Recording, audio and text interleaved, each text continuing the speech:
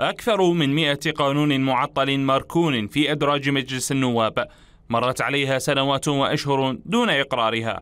أغلبها متعلقة بحياة المواطن تمس تفاصيل حياته العامة. فالكثير من الأمور الطارئة تحدث والمستجدات مستمرة. تحتاج أما إلى تشريعات جديدة أو استحداث للقوانين المقرة الجميع يترقب ما سيكون عليه المجلس التشريعي. بعد العطلة التشريعية. كثير من القوانين أو مشاريع القوانين ومقترحات القوانين لا زالت مركونة في إدراج آه، مجلس النواب منذ الدورات السابقة. الوضع الأمني الوضع الاقتصادي الوضع السياسي الوضع الاجتماعي في البلاد بحاجة إلى تشريع كثير من القوانين ومواكبة التطور. القانون يشرع من أجل تلبية حاجات الناس.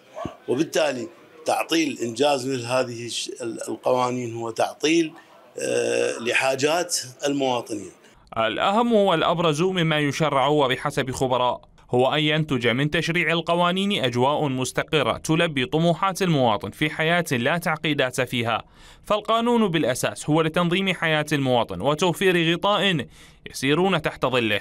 الأهم في الأمر هو لابد أن نصنع كقوة سياسية كسلطة تشريعية كسلطة تنفيذية أن نصنع حياة سياسية مستقرة حتى على الأقل نستفيد من التشريعات القانونية.